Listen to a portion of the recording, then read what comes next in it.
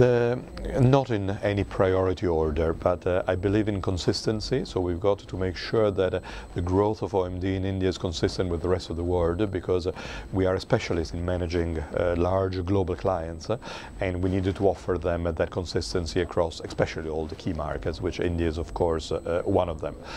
I would say the, the second most important thing is the whole area of uh, data and uh, analytics, uh, using best practice that we have locally and import best practice, tools and services, and understanding from what we've done in, in other markets.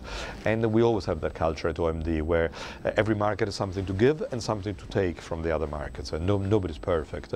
India has a lot to give and it also has things to take from, from the others. Third area of focus is, is talent. Uh, we need we need more talent in every single area, not just in India. Our business is changing quite dramatically, and we need new talent that didn't exist in the agency before.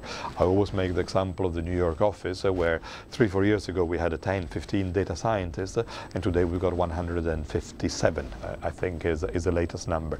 That really shows a big change in the composition of the talent that we have in the agency and the kind of talent we needed to to attract.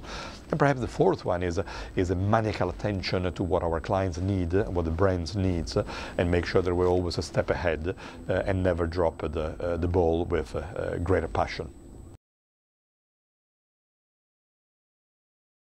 I think I've got quite a few targets for, for the next year. I would, uh, and again, and not uh, in any uh, priority order. I would like to be, I would like to always become better at, at saying yes instead of no uh, saying yes and instead of no but, uh, at uh, accepting new things, as taking critics and challenges in, in a more positive way, in always experimenting, in always testing and, and learning, without thinking that we, we know it all and we've done it right last year, so it must be right this, this year.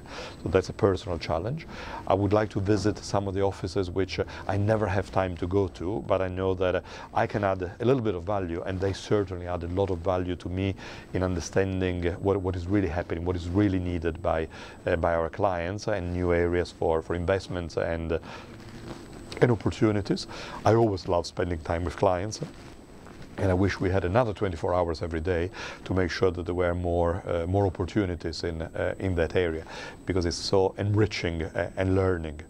I think that altogether I'm still having a lot of fun in this business uh, and, and I look forward to, another year of uh, great challenges and great fun.